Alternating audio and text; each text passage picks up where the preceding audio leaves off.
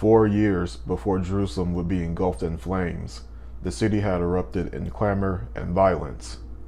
A full scale riot was imminent. Burdened by the yoke of Roman rule, many Judeans had endured more than a century's worth of overtaxation, social injustices, and bouts of religious intolerance. Tensions were now at a boiling point. On the Judean coastline overseeing the Mediterranean was the Roman provincial capital of the region, named Caesarea. Although situated in Judea, the city was a haven for Greeks, Romans, and other non Jewish peoples or Gentiles. This was a city where Roman governors resided, such as Pontius Pilate, for instance.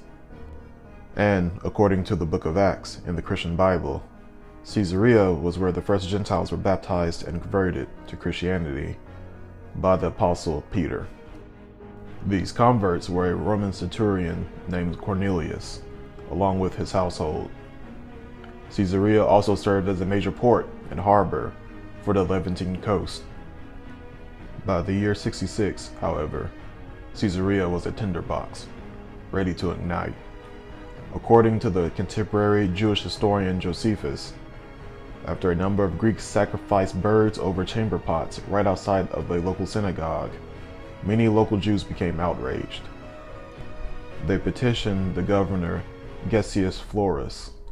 However, their grievances were unattended, and the petitioners were imprisoned. This incident was not all too surprising, since Florus favored the Greek and Hellenistic Jewish faction. Thus, following the Jews ceasing sacrifices on behalf of the emperor's well being, a riot ensued. This riot was not just local to Caesarea, but spread to other cities with sizable Jewish populations, such as Jerusalem, and even as far away as Alexandria, Egypt. In Jerusalem, Governor Florus extorted money from the Jewish temple for the reason of paying the emperor, again provoking the Judeans to insurrection. Indeed, the profaning of a certain synagogue in Caesarea was not necessarily the reason for widespread revolt, but it was the breaking point for many Jews after numerous years of economic and cultural ostracization by Greco Roman citizens and administrators. Now, circling back to the start of this video, the fires of unrest have now spread to Jerusalem. Once some Jewish militias attacked Roman citizens following the sack of the temple, Florus responded by sending troops into the city to round up the rioters and crucify their leaders. But the Judean militias fought back and defeated the Roman garrison. Because of Florus's ineptitude, he was replaced by Marcus Julianus.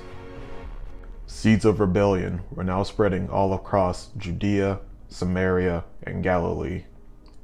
To the north in Syria, another Roman governor, named Cestius Gallus, rallied his troops from Antioch to restore order to Judea. After massacring towns that resisted, he quelled the unrest in Caesarea and next set out to Jerusalem. Having failed to take the city, he and his three Roman legions, with auxiliary forces, totaling some 30,000 troops in all, retreated back to Caesarea. However, Jewish rebels were lying in wait. As the Romans marched through the pass of Beth Horon, they were showered with projectiles, like arrows, stones from slings, and javelins. Panicked and dismayed by the sudden attack, the legions could not get into formation. What ensued was a slaughter. The Jewish militias decimated the Roman army, killing about 6,000, with many more missing and wounded. The remnants fled back to Antioch, where Gallus died shortly thereafter. The Judean rebels had achieved a great and unprecedented victory but would they have done so if they knew what was to come? These were the opening salvos of what would be a long series of bloody conflicts between Judeans and Romans. And in the next video, we will see how the Empire responds and how it will strike back. Remember to like, share, comment, and subscribe. See you all next time.